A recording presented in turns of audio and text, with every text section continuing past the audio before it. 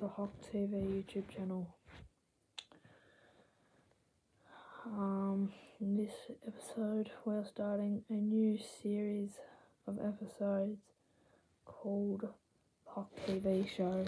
So we are basically just going to cover all the Hawthorn based news that's happened in the last week or so. Um, and yeah, just review the week and or review the month and review everything that's happened.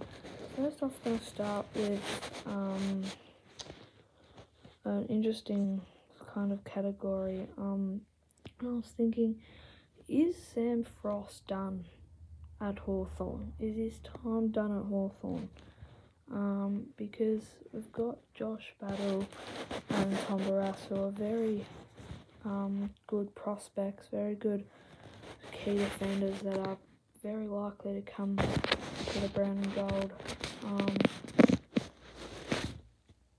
at the end of at the start of next year. Um, and obviously Sydney were gonna try and um, get in on this deal, and they think they have shown interest in Sam Frost, obviously because they don't have a big-bodied, really key defender the Swans, so I've shown interest in Sam Frost. Um, so his time may be done at the Hawks. We'll see how the trade period plays out, but I'm really interested to see what will happen with the trade with Barrass. um, obviously, in battle's a free agent, so we won't need to give anything there, but we're going to have to give up a fair bit to get Barrass, so maybe it'll be a three-way trade and Sydney might get in on it. Um, obviously, wanting Sam Frost. Um, and yeah, so um, yeah, Sam Frost time might be done at the Hawks, which is not amazing, obviously, because he had a very strong, consistent year this year. He really kept key forwards um, quiet, um, especially ones in the top form like Curnow and um, Larkey. Obviously, not kicking many goals, if any, and keeping doing a really good job at fullback.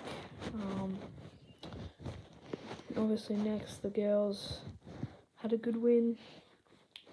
Um, girls had a good win last week on the weekend on Saturday against the Saints um, at RSEA Park. They won 2 5 17 to 11 11 8. Sorry, 11 8 74.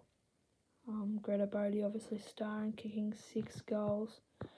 Bloody hell. Um, and um, Taylor Lucas-Rodd racked up 23 disposals, so did Lucy Wales. And I think everyone basically played well. Everyone had their own good game.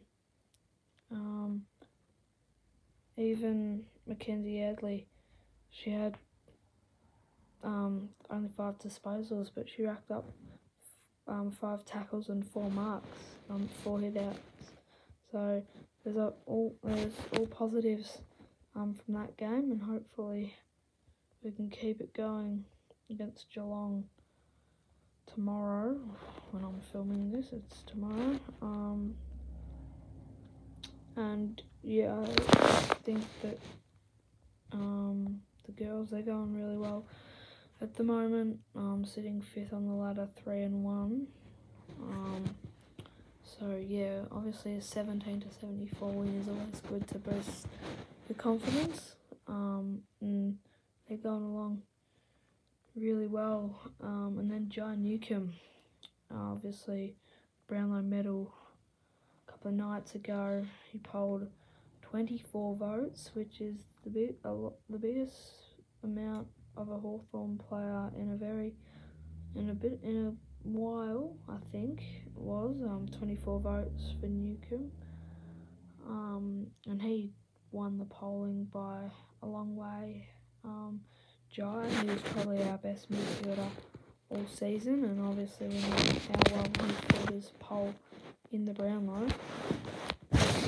Um, but yeah, he was definitely one of our best this season.